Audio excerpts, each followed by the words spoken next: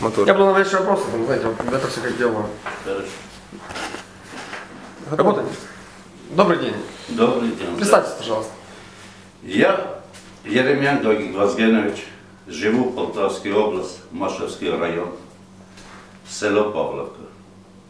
Чем вы занимаетесь? Я сам фермер, держу голов 300 свиней. С 2000 года занимаюсь немножко землей. Это дело вашей жизни, правильно? Да. А до этого я жил на Попетровске. Приехал в село, мне понравилось, купил дом. У меня дочка, жена, сын. Сын вот с утра до ночи помогает мне. Держим хозяйство. Это как семейное дело, правильно? Да, да. Ясно. Вот э, какая у вас сложилась ситуация, да? Вот, я так понимаю, вы являетесь участником вот этого резонансного события, которое произошло в Сидоренко. Э, ваше видение, хотелось бы услышать, э, плюс ваше ну, дополнение к этой истории, как вы стали участником, и я так понимаю, вы были обмануты. Ограбление. А, грабеж. Хорошо. Расскажите, пожалуйста, более подробно. Значит, прошлый год осенью человек мне попросил в аренду сдавать свой пай. Значит, до этого, года 3-4 назад, у них договор был с Иваном Ивановичем. Три года, значит, договор закончился. Сидоренко. Да, именно Сидоренко. Значит, осенью мы договорились. Весной уже документы приготовили. Через нотариус, все как положено. Местный нотариус. Да, Машевский нотариус. Я иду Ивану Ивановичу, показываю документы. Говорю, Иван Иванович, люди со мной заключили договор, а ты сеешь. Я говорю, я сам обработал его, я орал. Это моя земля. Он документы вот так выкидывает туда-сюда, это мне по то я не знаю что, матюками. Я у него был всего минута пять, если еще минут я там осталось, прямо у него в кабинет, он драку устроил. И заявление написал в милицию, что я нападение делал прямо у него на фирме. Значит, он весной взял, посел сою. Мы начали, я Вернемся на момент назад. То есть, когда вы пришли к нему, он э, нецензурная брань всего Да, была. и матюки. Как момент угрозы, правильно так Да, понимаю? да. Кто ты такой, откуда приехал, с горы приехал, кто такой, ты не украинец? Говорю, Иван Иванович, То я, есть, э, э, были элементы расизма Да. да, с его стороны? я говорю, я 30 лет тут живу, 30 лет. Больше у меня жизни, я живу тут. Государственный с- служит, даже службовец, Да. понимаете? И у него элементы областной расизма. рады. И депутат областной рады. Короче, я еле оттуда убежал. Пошел у меня, в Машевке есть хороший человек, который раньше работал и прокурором, и судьей туда-сюда. Я ему объяснил ваш товарищ, да? ну, близкий человек.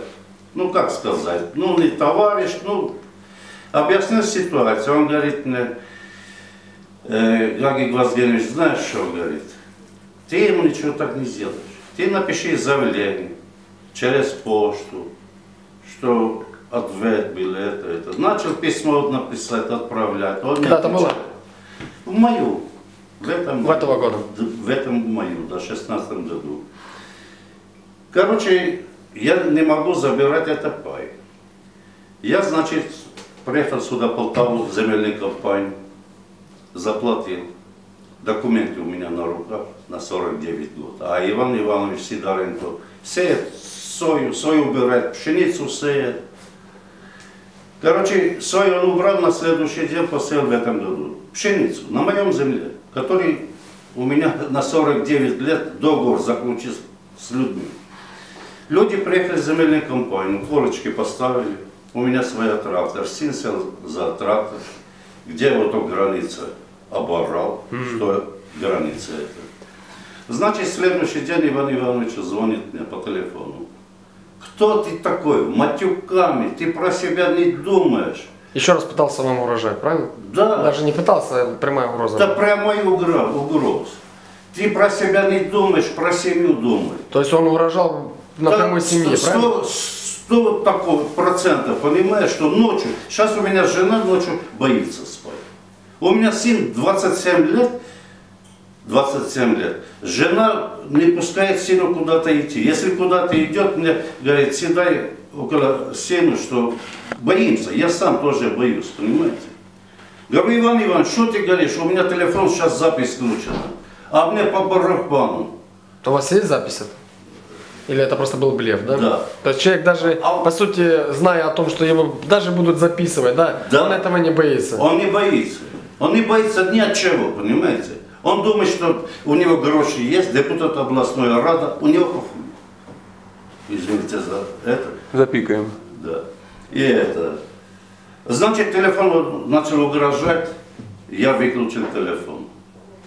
Через секунду он опять звонит, опять начинает угрожать мне. Это было, значит, 26 мая. 26 мая, я хорошо помню. Э, Значит, он мне говорит потом, посмотри, что будет. 28 значит, заезжает у меня на поле 100 тонн семечка, три комбайна, 4 КАМАЗа. Его оборудование, его машины, да? Ну да, фирма Агроальянс, и мне говорит, ты понимаешь, я тут ни при чем, тут фирма Агро, Агроальянс. Говорит, ты с Приватбанком не, э, не сможешь судиться туда-сюда, у тебя столько грошей нема. Говорю, Иван Иванович, при чем Приватбанк?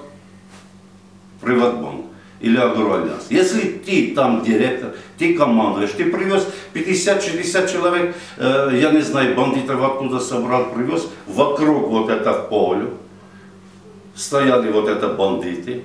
У меня сыну я... Это были люди спортивного телосложения, правильно я понимаю? Да, да. И вот так, короче, получается, я с адвокатом в Белой Полтаве.